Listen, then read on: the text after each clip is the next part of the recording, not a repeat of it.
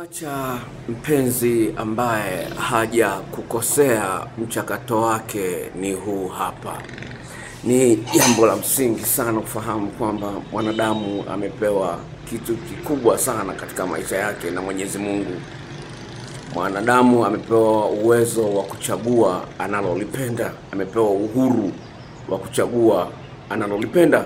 Mwanadamu wa kwanza kuwepo hapa duniani Adamu na Hawa walipewa amri moja tu, akamwambia nimekupa kila kitu, lakini ule mti ambao katikati ya bustani ya Edeni usiguse, usile matunda yake, usile kabisa, utakufa.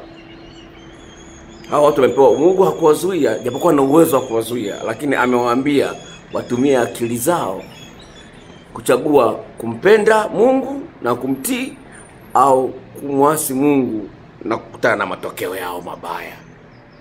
Sasa katika hali ya kawaida upo uwezekano mtu anakupenda kweli, yani yani anakupenda makorono, jamani, napendwa kweli, lakini moyoni kuna kitu na kiko sawa, kuna kitu kiko sawa. Nimegotea mada hii baada ya kuongea na dada akiwa naliwa akiwa akiwa nchi za nje. Watu wengi wanapenda kukimbilia nchi za nje, wanaona ndio kwenye raha sana. Sasa ameenda nchi za nje, kamwacha mpenzi hapo Mm.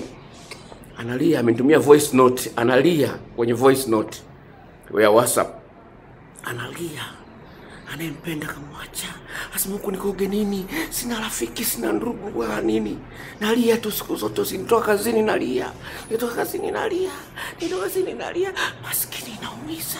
Unampenda lakini kakuacha, inaumiza. Sasa ujanja ni nini? Hii ndio kazi ya chaneli hii, sawa? Na kumwacha mpenzi ambaye hajakukosea, tambua kwamba haya ni maisha yako na kama ni maisha yako inapaswa yaishi kama wewe unavyotaka unavyopenda, sio mtu mwingine aje anakujolea kujolea wakati wewe upendi kukojolewa. Ndio maana wengine wanaamua kuwa wasagaji, basi wengine wanakuwa amua mashoga. Wote ni ule ule uhuru wa kuchagua. Usimlaumu mtu kwa sababu amefanya ameamua kuwa msagaji, usimlaumu kwa sababu ameamua kuwa mlevi, usimlaumu mtu sawa, muonee huruma, lakini usimlaumu Sawa, amefanya uchaguzi wake aliyopewa na Mungu. Hiyo ni haki, amepewa na Mungu. We ni nani mzuie huyu mtu ambaye amepewa na haki ya kuchagua? We ni nani mzuie? Anaweza kweli akakuacha, lakini atakuja ataumia baadaye. Watu wengi wameshanipigia simu, eti mpenzi wangu aliniacha, nataka nirudie. Ni dota, nimkubali au nimkatalie? Hizo kesi nyingi sana toka elfu mbili na sita mpaka leo. Kama ningeandika vitabu ingekuwa kikubwa mno, lakini nataka kuambia hivi ni kwamba unapoona kwenye moyo wako una amani, unapoona moyoni mwako una amani na huyu mtu, japokuwa kweli anakupenda na kweli kabisa, unao ushahidi kweli, yaani mpaka mwenyewe unajisikia vibaya kumwacha, unaona, yaani unajisikia vibaya, sijui nikimwacha sijui itakuwaje, yaani unajisikia vibaya, manake unaona hana kosa kabisa, unaona hajakosa, lakini unajisikia vibaya kumwacha, lakini moyoni mwako kuna kitu Ya kafu. hakijakaa sawa, lakini kweli kabisa anakupenda kweli anakupenda kweli, anakupenda kabisa, na unajua kama ataumia sana, lakini unataka umwache. Tambua kama hii ni haki yako, umepewa na Mungu ya kumwacha mtu. Haleluya, haleluya! Hii ni haki yako, umepewa na Mungu ya kumwacha mtu, ni haki yako, itumie. Biblia inasema hivi kwenye Wakolosai tano kumi na tano kitabu cha Wakolosai kimeandikwa na Mtume Paulo sema amani ya Kristo na iamue mioyoni mwenu, ndiyo mlioitiwa. Sema amani ya Kristo iamue, yani kama vile refari mpira uende wapi, kushoto au kulia, uende Simba au Yanga, amani lazima iwe ndio ndio kiongozi huyo, sawa? Hiyo ndio dira, amani ndio dira, sawa? Kwenye kitabu cha Zaburi ya mia na kumi na tisa mstari wa mia na sitini na tano inasema kwamba wana amani nyingi wanaoipenda neno la Mungu na wala hawana la kuwakwaza. Anasema wana amani nyingi wanaopenda neno la Mungu, kama vile Wakolosai niliyokusomea, sawa, tatu kumi na tano. Wana amani nyingi, ni hawababaishi, hawana la kuwakwaza. Hiyo ni Biblia inasema kwamba wana amani nyingi wanaopenda neno la Mungu, wala hawana la kuwakwaza. Wakiachwa sawa, enda, hiyo ni haki yako bwana, umepewa na Mungu ya kuniacha, ni haki. Kwa hiyo usilie sana unapoacha wewe, wewe umzidi Mungu. Mungu ndiye amempa haki huyu mtu ya kukuacha na kuamua anachokitaka. Sawa. Sasa naomba nisikilize. La kwanza, unapotaka kumwacha mpenzi anayekupenda, sawa, haja kukosea kabisa.